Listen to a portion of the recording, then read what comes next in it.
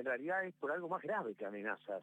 Eh, es directamente por tentativa de extorsión. Eh, que es eh, un delito que tiene un mínimo de dos años y medio y un máximo de cinco, mientras las amenazas generalmente, eh, si son simples, llegan hasta tres años y por eso la condena no es efectiva. En cambio, la tentativa de extorsión arranca en un mínimo muy eh, que puede ser eh, no efectiva la prisión, pero si te ponen un pequeño agravante, que fue lo que le pasó a Bebote Álvarez, pasa a ser condena de prisión efectiva. A Pablo Álvarez le dieron tres años y medio de prisión hoy porque la jueza dio por probado que eh, lo extorsionó a Holland, que por lo pronto lo intentó extorsionar para que le diera 50 mil dólares para que la barra brava de Independiente pudiera viajar al Mundial de Rusia. Esta extorsión, a ver, esta tentativa de extorsión culminó el 19 de octubre pero había empezado mucho antes según lo que se terminó verificando en el juicio. Hubo cuatro reuniones en las cuales Bebote Álvarez comenzó a ejercer, digamos, la presión y la extorsión definitiva se produjo cuando Holland, en el último encuentro, le dijo que él no iba a poner un peso. Gustavo, yo me acuerdo que Holland andaba con custodio privado, o sea, ¿esto tiene que ver con esta causa o había otra de amenazas?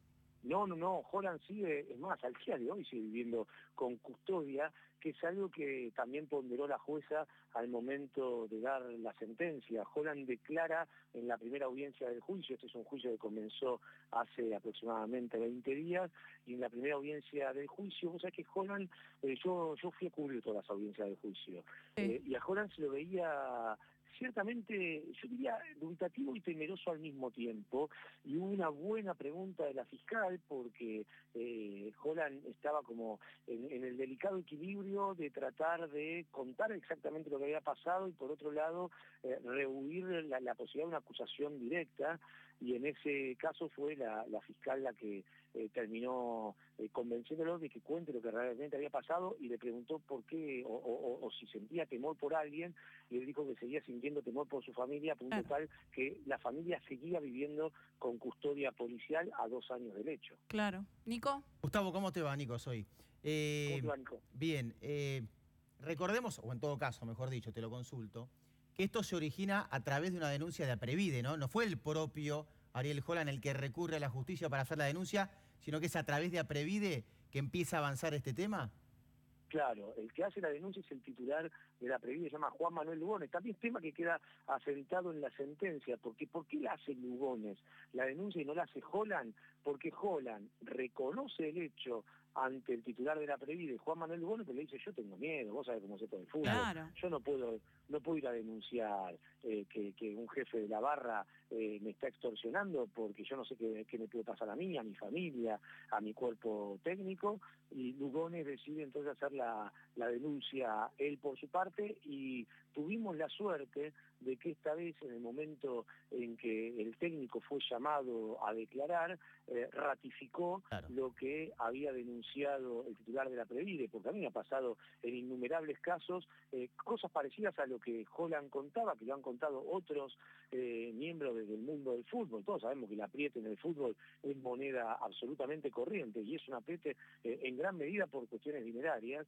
y después a la hora de ir a, a declarar, los jugadores o los técnicos dicen, acá no pasó nada, fue solamente una reunión de buenos amigos o vinieron a pedir unas camisetas. Y se este transforma en, un encubrimiento, ¿no? Ese es el nombre concreto.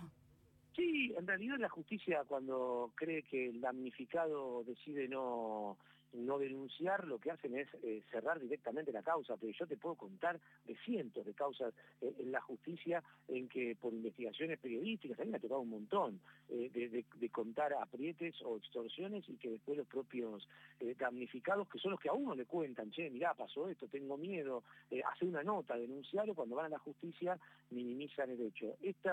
¿Por qué es inédito? Porque Holland no lo minimizó, porque esta vez Holland declaró exactamente exactamente lo que había ocurrido y eso eh, logró que se hiciera la instrucción y que se llevara a juicio, un juicio inédito en la Argentina. ¿eh? la, primera vez, es la primera vez que un barra brava es eh, acusado y es condenado con pena de prisión efectiva por extorsión, tentativa de extorsión, eh, en este caso a un director técnico o podría haber sido a cualquier otro integrante del plantel. Esto, por eso digo que es un, es un dato bisagra siempre y cuando eh, el resto del mundo del fútbol acompañe esta decisión, ¿no? Que el día de mañana, cuando un barra de cualquier club vaya a extorsionar a un jugador o a un técnico, tomen la misma decisión que tomó Holland. Qué bien,